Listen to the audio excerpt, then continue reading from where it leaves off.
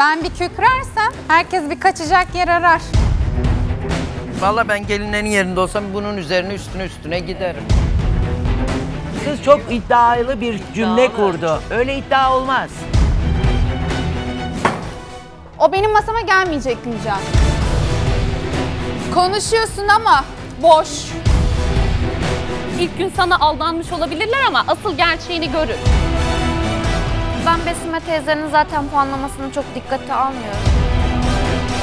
Reyhan Hanım, Reyhan Hanım maske nedir ya? O benden çekindiğinden kaynaklıdır. Kayınvaliden senden çekiniyor mu? Gelinin Mutfak'ta yeni bölümüyle çarşamba günü Kanal D'de.